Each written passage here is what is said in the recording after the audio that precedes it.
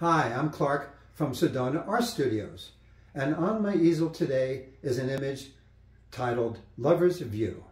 Lover's View came about because this is known as the Lovers, and that's on Cathedral Rock located in Sedona, Arizona.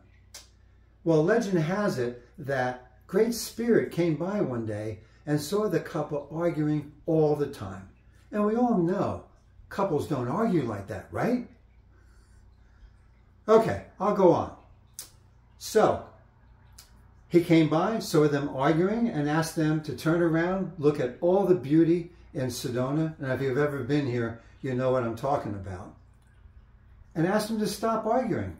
Guess what? They stopped.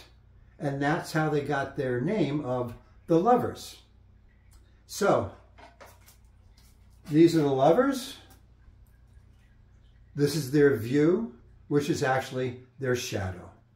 Hence the title, Lover's View. I appreciate you guys taking a look at this video. Check out my website sometime, mcshep.com, and have a great day.